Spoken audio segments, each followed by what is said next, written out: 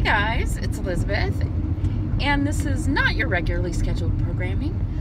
Uh, it's, um, I don't know, Saturday, July 1st, and I am driving home for an event in LA, and I was just feeling all the appreciation rampage. I thought usually I do that on my Instagram stories, my appreciation rampage. If you aren't following me on Instagram, please do. I love Instagram, it's my favorite. Link is below in the box. But um, there were so many things I thought it would take me forever to do that in 15 second intervals. I think I'm just going to make a video about it.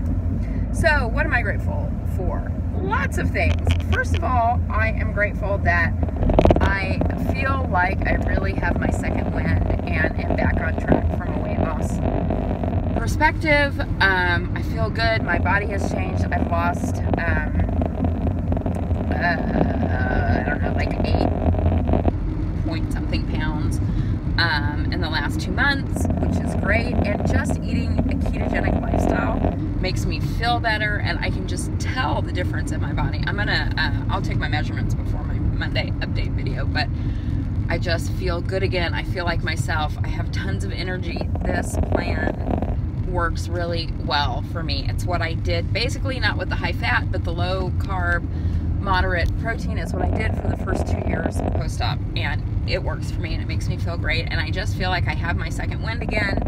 And um, it feels really good. And I feel really, I was texting with Tanya last night. It's like I feel like I feel more confident now than maybe I ever have that I will get to the goal of 179, 179 pounds and have plastics and be all good with it. But um, yeah, I maybe for the first time really believe that and feel it and it's awesome so i want to uh, first appreciate tanya um, vsg tanya 2011 because she has been very patient and supportive with me as i've gone back and forth and it took me a few months to finally get it together and that whole time she was so supportive and never made me feel like i was failing because that's just not who she is even though i was you know screwing up a little bit and not able to commit to it. But then I was, and now I am, and it feels really good. So I appreciate that. I appreciate, you know, all you amazing people in this weight loss surgery community. I came home yesterday to a package from Kim, who YouTube name I can never remember. Wavecatcher 42. Kim, Kim in Tennessee.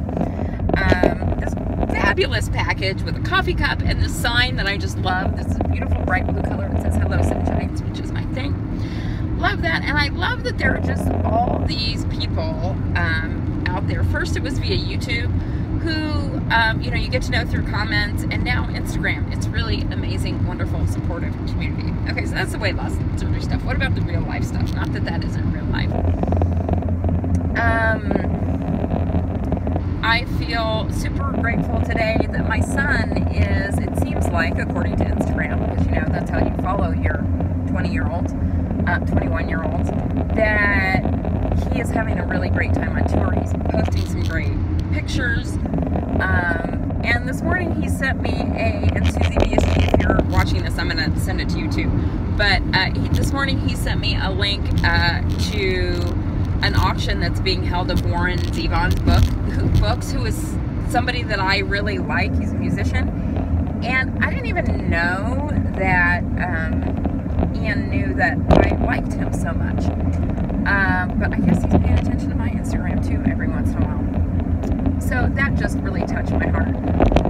I am feeling just in general a real sense of being at home. At home in my um, home in my body, at home in my family. And I know that might seem weird since I'm 51 years old, but I've always felt like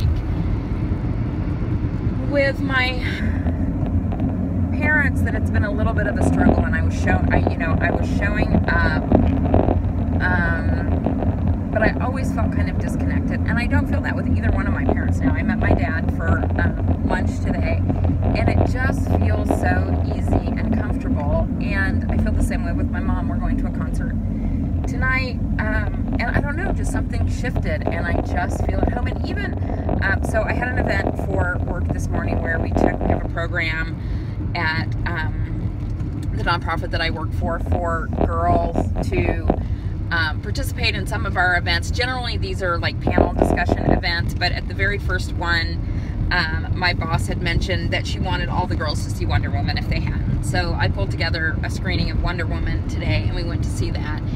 And my um, my ex-boyfriend, who looks a lot like Fat Kingsville, which doesn't matter, whatever. But I just think it's funny now. Every time I see him, I think of Phil. But um, came uh, to the event, and even talking to him afterwards, I felt just this real sense of being at home and comfortable. And I don't know, it seems like sort of a new thing. And you know what else? He's 62 years old and has never been married, and he has he is talking about getting married to somebody, and that makes me really excited and happy for him. I think he deserves that, and I think that will be awesome for him. And I just appreciate that it just, you know, somebody who is who's 62 years old and has never been married, that they get married. I don't think that happens that often, do you?